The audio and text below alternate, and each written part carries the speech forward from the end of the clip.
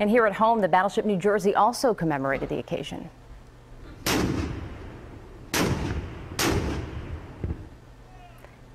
Today on the nation's most decorated and largest battleship, a display of World War II artifacts. The battleship New Jersey was built at the Philadelphia Naval Shipyard and launched December 7, 1942, just a year after the Pearl Harbor attack brought America into World War II.